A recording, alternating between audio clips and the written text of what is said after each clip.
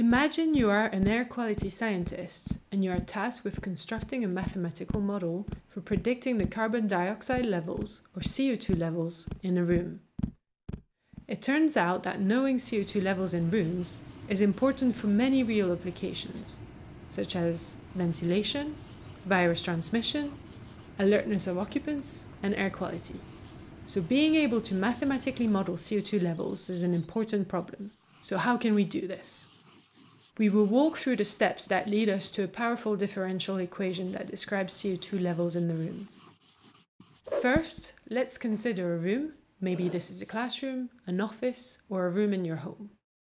Let's give our room some openings, like windows and doors. And of course, this room contains some amount of CO2. To begin our model, we have to consider what would cause the amount of CO2 to change.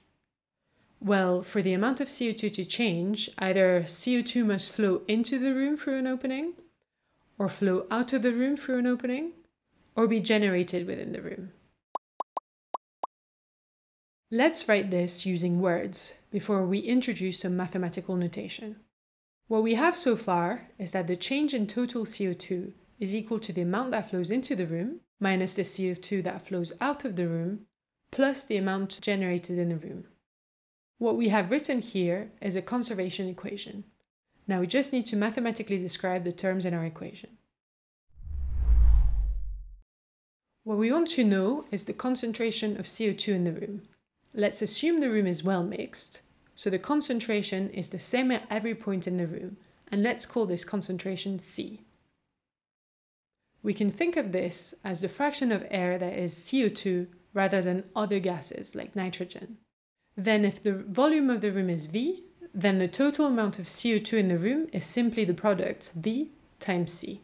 Therefore, the change in total CO2 is delta V times C, where the symbol delta just means change. So delta Vc is the change in Vc, or change in total CO2.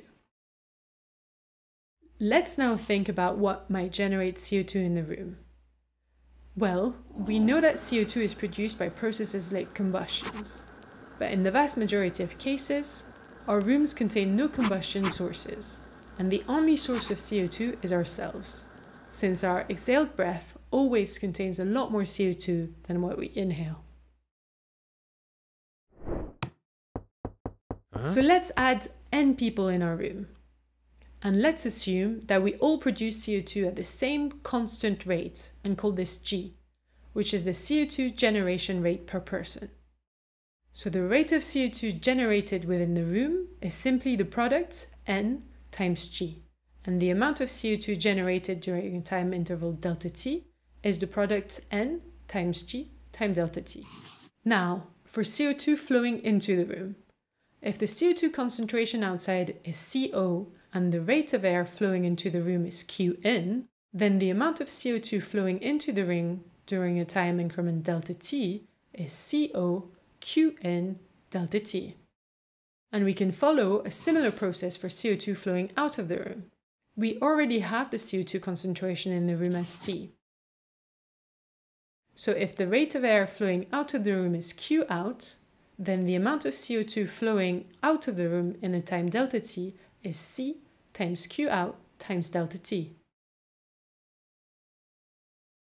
We've now filled in all the terms, giving us our conservation equation. And actually, we are almost there. Going forward, it is just a case of tidying things up. First, we can divide through by delta t.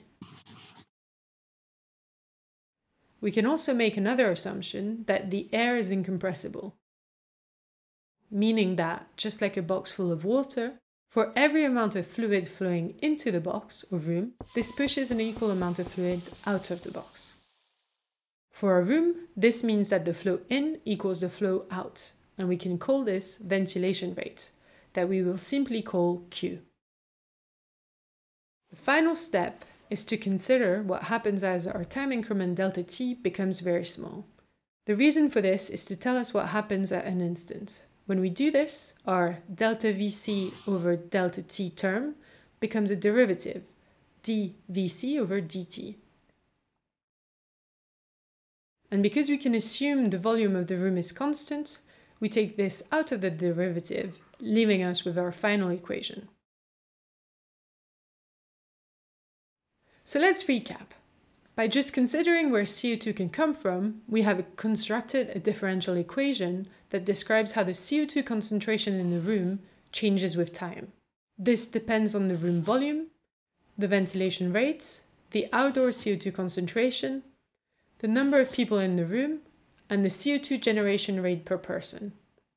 The reason we call this a differential equation is because our rate of change of C also depends on C.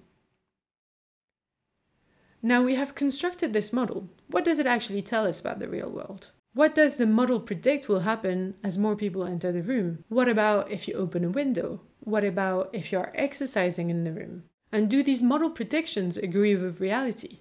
We will talk about this in the next video.